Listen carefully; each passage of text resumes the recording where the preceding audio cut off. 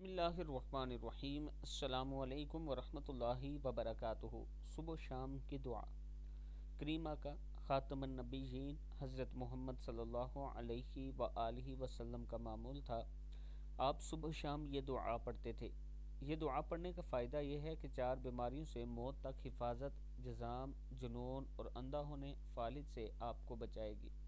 ہر روز صبح فجر کے بعد سبحان اللہ العظیم و بحمدہ ولا حول ولا قوت الا باللہ پڑھا کریں۔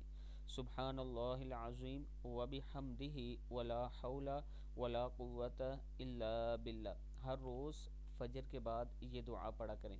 اس کے ساتھ میں اپنے چاہنے والوں سے گزارش کروں گا کہ الحمدللہ ہر رمضان میں ہم راشن تقسیم کرتے ہیں اور ان پہاڑی علاقوں میں جہاں تک کوئی نہیں پہنچ سکتا وہاں جا کر تقسیم کرتے ہیں۔ لاسٹ ٹائم بھی تقریباً ہم نے ایک سو سے زیادہ فیملی میں راشن تقسیم کیا تھا، اس بار بھی ہمارا پروگرام ہے۔ اگر آپ لوگ اس میں اپنا حصہ ڈالنا چاہیں تو میرا WhatsApp number zero three one two five triple zero nine eight seven ہے۔